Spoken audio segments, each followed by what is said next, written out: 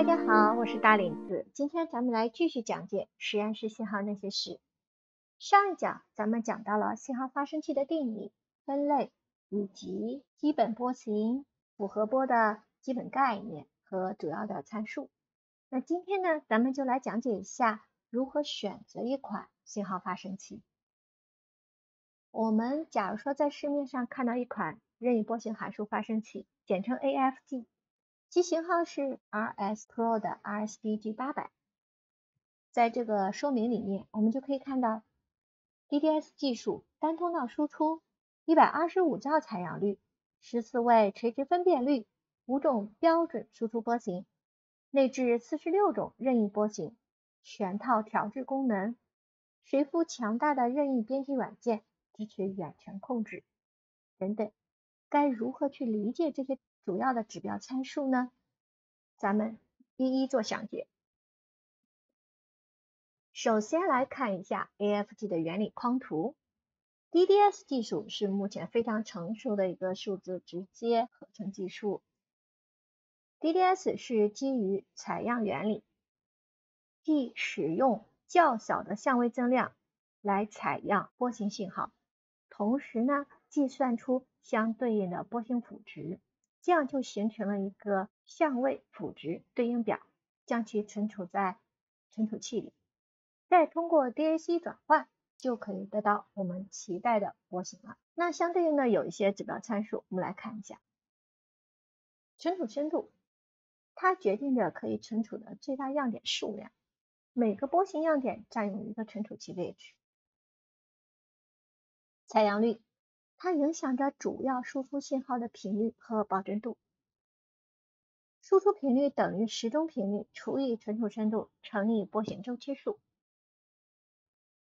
带宽，信号发生器输出电路的模拟带宽必须足以处理其采样率将支持的最大频率，从而可以保证信号细节。水平分辨率。它表示创建波形时可以使用的最小的相位增量，或者说最小的时间增量。垂直分辨率，DAC 的垂直分辨率决定着复现波形的幅度精度和失真。当然，垂直分辨率越高，那我们得到的幅度的精度也就会越好。接下来我们就要看一些辅助功能或者叫增强功能。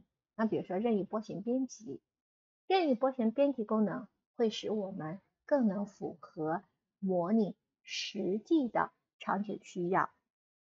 标准波形是有可能会有畸变、会有噪声等等，那我们就可以使用任意波形编辑功能来进行处理。双脉冲测试呢，是一种测量开关参数、评估功率器件动态特点的方法。它要求任意波形发生器提供两个不同脉宽的脉冲信号。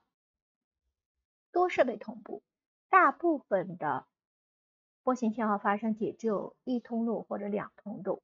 如果我们需要实现多一两路的同步输出的时候呢，就需要使用多台设备同时工作。多设备同步就是因此而产生的。总而言之呢，我们该如何去选择一款信号发生器呢？首先，我们要看一下主要的参数。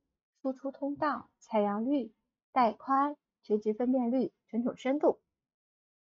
另外就是看它的基本功能，比如说它支持的基本波形的类型、输出频率的范围、输出辅值的范围，是否支持调试、扫频、突发等等这些功能。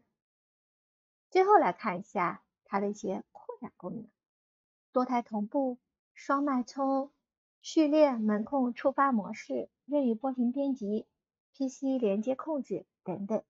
那了解了这些功能之后呢，我们基本上已经可以确定自己期待的那一款信号发生器了。在这里还有一个小贴士，就是 AFG 和 AWG 的区别。AFG 呢，咱们称之为任意波函数发生器；AWG 呢，是任意波形发生器。可以看到最显著的区别就是 AFG 的取样时钟速率是固定的，而 AWG 呢是可变的，因而它们的应用场景是有所不同的。